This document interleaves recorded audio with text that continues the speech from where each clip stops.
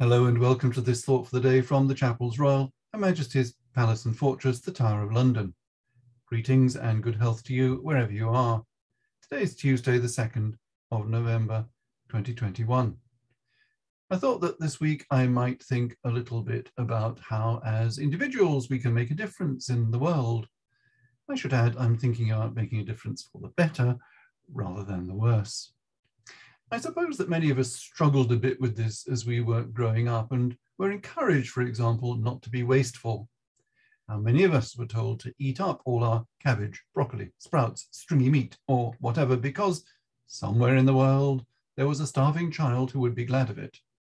Most of us reacted by thinking, if not saying, that the starving child and children were welcome to the revolting greens or gristle or whatever, and we'd happily give them up for them. Our logic was impeccable, but we were missing the point. The point was that to waste resources is in itself a bad thing, even if our own consumption of every unlovely scrap on our plates hardly benefited anyone else directly. The reference to the starving child was probably well intentioned, but it did not really get the message across to our young minds.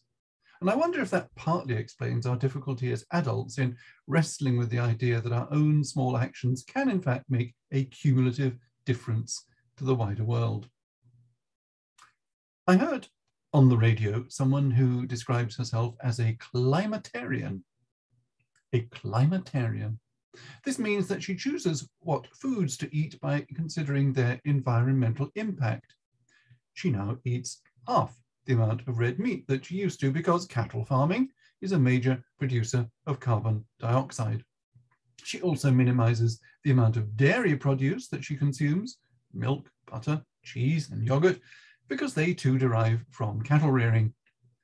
She did not say it, but I assume that when she does buy meat, she sources it as locally as possible. I mean, it would make little sense to cut down on your steak consumption, but continue to buy New Zealand beef.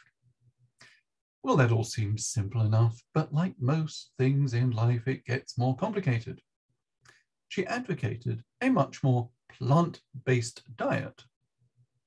Asked about the carbon footprint of an avocado delivered to her door by bicycle, she replied that nobody in this country should be eating avocados at all unless they're grown in the UK. If we take that to its logical conclusion, we should not eat any imported foods. Whether British farms alone could produce enough food to feed the British population is highly doubtful, but let's suppose for a moment that they could. What impact would that have on the producers of, let us say, avocados in poorer countries which rely on their exports to make a living?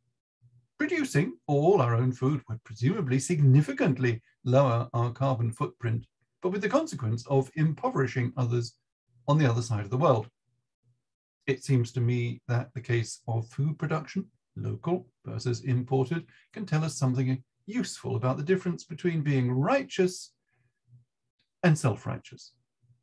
Being self-righteous has recently acquired the unattractive label of virtue signaling. It means telling others how virtuous we are, and often in my experience doing so without regard to the factors that might affect people other than ourselves. Righteousness, on the other hand, seems to me to be about doing the right thing because it is the right thing rather than because it makes us look good. But being righteous also surely means being just to others, which in turn requires us to look beyond the immediate and local and to grasp the long term and distant. Now, I think democracy is a good thing. Government of the people, by the people, and for the people. Motherhood, and apple pie. Yep. But democracy involves elections, and elections involve politicians in saying things that make them popular in order to maximize their votes. Invitations to self sacrifice, to giving things up for others, to accepting less than we have been used to having, are seldom vote winners. Politicians like to be popular. What the current climate change crisis requires is for politicians to act like statesmen and stateswomen which means risking short-term unpopularity for the long-term benefit of all. We can do without the virtue signaling, the self-righteousness. What we need is righteousness, doing the virtuous thing, because it is the virtuous thing to do.